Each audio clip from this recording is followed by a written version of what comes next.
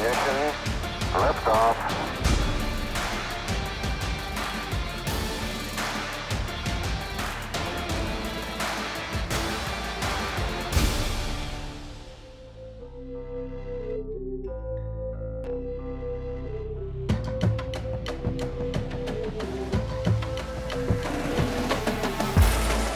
My name's Guy Oliver from Louisville, Kentucky, 5'9", pro dunker. I got my first dunk when I was like 13. I was about five, six. I was in seventh grade, and I just came out and was booming.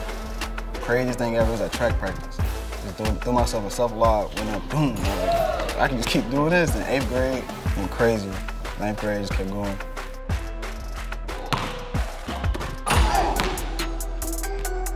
My best moment of dunking would probably be about a year ago. I hit a between the legs off the backboard. It went viral. It was in game too, between my legs off the backboard, and just cocked it back, boom, in the game. First found out about Oliver, I think the way everybody else did. I saw him on Instagram. He uh, threw it off the backboard, dunked on some kid, and he just went like crazy viral. So the story behind me having one eye is I got shot when I was a kid. A lot of people don't know that. A lot of people think I was born with it, so they immediately assume.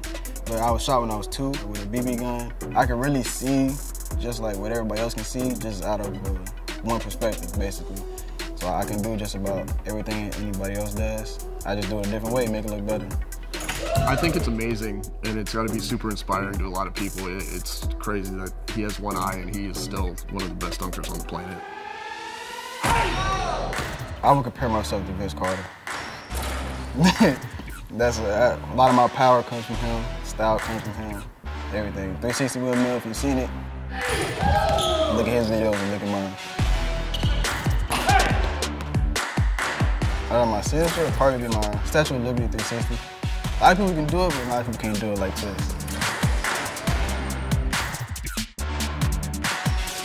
My most effective uh, exercise for dunking would probably be dumbbell lunges into a lunge jump. It more so helps on your like your quads, helps you explode from your, your quad or your, your calf muscle as well. And you also gotta have your ankle build as well, so I do a lot of ankle workouts. Cause I'm more, I'm more so focused on my mechanics and making sure I, I'm able to explode the way I need to explode. I know I can dunk, that's the thing. Like I know I can dunk. So it's, it's more so a mind over matter thing.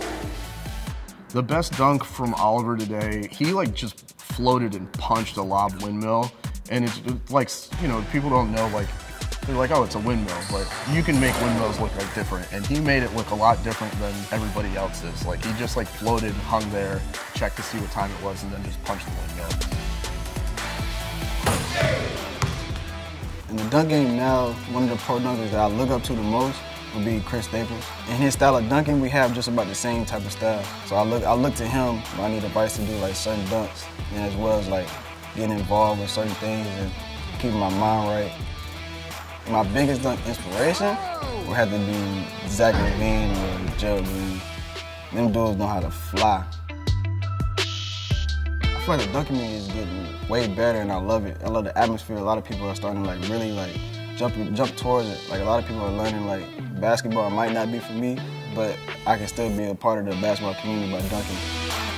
My short-term goals would be just to, to capitalize on all my dunks that I know I can do and just make them just look effortless at all times. Some of my long-term goals would be to reach a 60-inch vertical, because right now I'm at 50. So I want to reach 60, break a human record and world record. Then also just be on ESPN doing something great. In the future for Oliver, I see him doing well, and I think social media wise, he's going to do great because he's smaller and it's inspiring to a lot of people, and people are going to follow him. I think if he works on his consistency, that he can end up being, you know, one of the top 10 guys in the game. He's got the hard part out of the way. The dude jumps 48, 50 inches in the air. Just work on his arsenal and get consistent. The future holds a lot, a lot of air for me. Anti-gravity, that's all I see.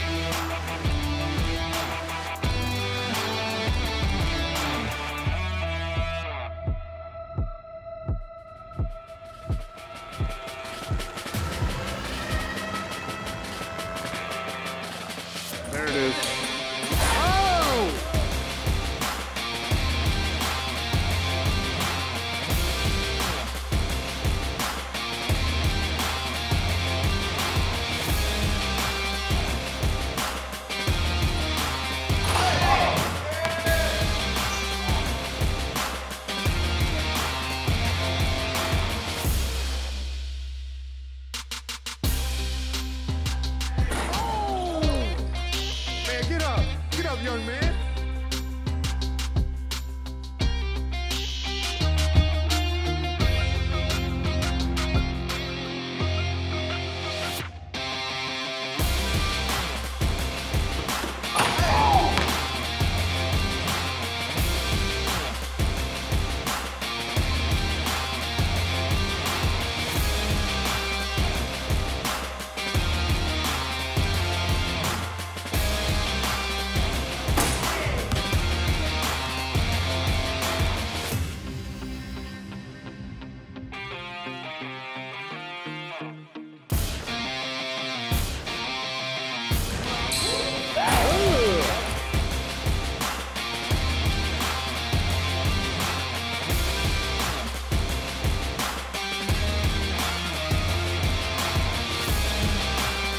Thanks for watching my episode of Dunk Diaries. You can follow me on Instagram at Oliver Twist, no the Twist. Also subscribe to Whistle Sports and Team Flight Brothers.